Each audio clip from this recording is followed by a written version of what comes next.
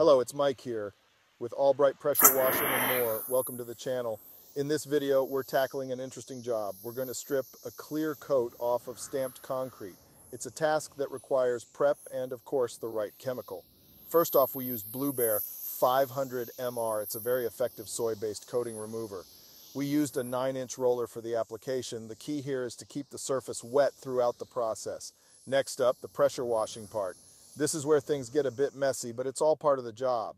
We used a pressure washer with a 25 degree nozzle to remove the coating. It's important to make sure the area is well prepped before starting.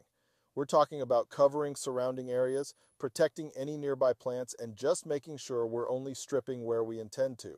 This process, while it does make a mess, is incredibly effective at removing that clear coat, making it ready for resealing. It's a reminder of the transformative power of a little pressure and the right chemical. Thanks for joining me on this job.